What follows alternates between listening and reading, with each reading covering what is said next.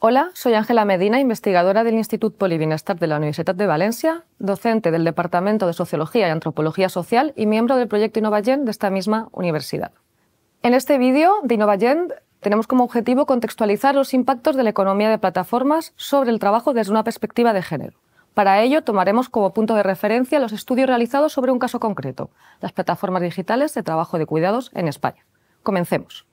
SNICEC identificó la actividad de las empresas de base tecnológica, startups o plataformas con la emergencia de un nuevo paradigma de crecimiento económico, el capitalismo de plataformas. Posteriormente han sido múltiples sus reformulaciones semánticas y denominaciones.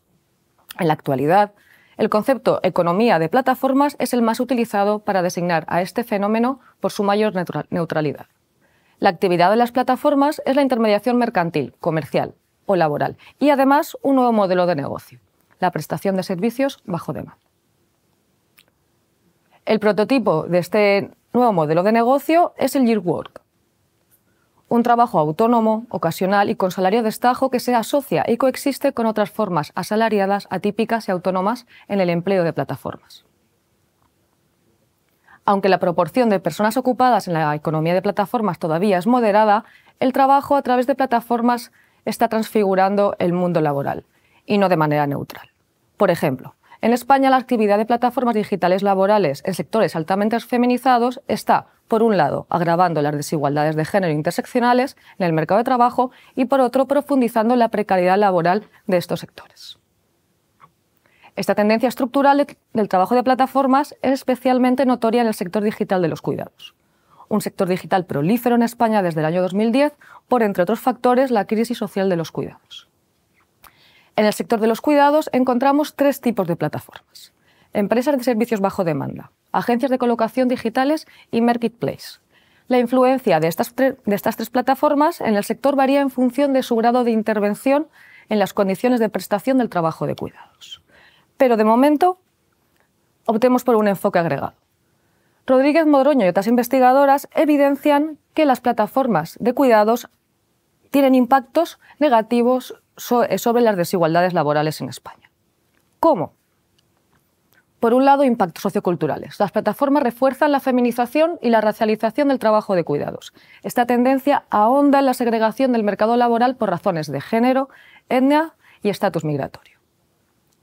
Por otro lado, impactos socioeconómicos. Las plataformas también contribuyen a la privatización, mercantilización, desregularización, desprofesionalización y precarización, por último, del empleo de cuidados.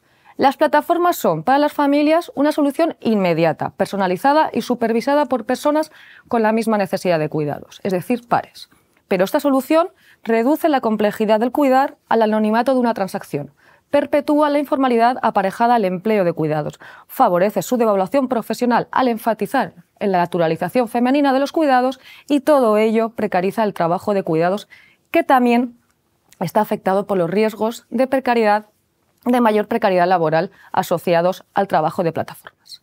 Es decir, la externalización de la mano de obra, aumento de las asimetrías de poder en las relaciones laborales, incremento de la discriminación, la explotación laboral y la desprotección en el lugar del trabajo, y subordinación de las y los trabajadores a las evaluaciones arbitrarias de la clientela. Aún y todo, amplificación de los riesgos psicosociales vinculados a la ansiedad y el estrés en el puesto de trabajo. Recapitulando, la intermediación digital en el sector de los cuidados tiende a precarizar aquello que ya es precario. Por ello, Ben Gray considera que la Directiva Europea de Trabajo de Plataformas es insuficiente desde una perspectiva de género. Y sin lugar a duda, el trabajo de cuidados es uno de los trabajos del futuro. A partir de aquí se abre el debate sobre también el potencial de las plataformas para dignificar el trabajo de cuidados. Lenzi destaca que las plataformas también pueden facilitar el acceso al empleo, la formalización laboral y la organización colectiva de las trabajadoras domésticas. ¿Cómo?